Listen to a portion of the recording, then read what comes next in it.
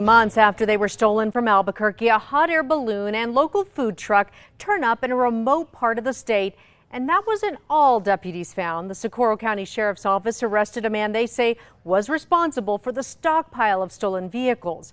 News 13's Jessica Baron shows you what deputies uncovered. So I honestly was just putting it in my head, no, it's gone.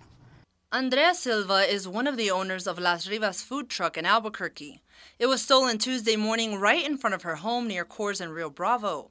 When their story aired yesterday evening, a viewer in Socorro recognized the truck and called the sheriff's office.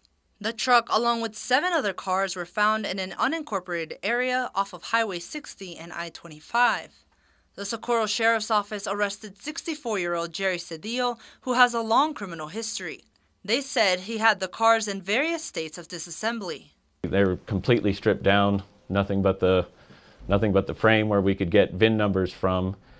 One of the recovered items included a hot air balloon that was stolen along with its trailer back in May. Troy Bradley is the owner and pilot of the balloon. He says he couldn't believe it when his wife called him this morning to share the good news. I, I really felt like, uh, you know, this stolen merchandise that's not found in fairly short order, um, you know, who knows where in the world it could be. So now, after you know almost two months, uh, it's hard to believe that we actually did uh, did find it. Silva says she's just grateful she got her truck back because not everyone is so lucky. Feel for the people that lost their food trucks because I, I know the feeling of losing your truck. Thankfully, I'm getting it back. Jessica Barron, KRQE News 13. The Socorro County Sheriff's Office says they do not believe Cedillo acted alone. They will be working with officials from the other counties to identify other suspects.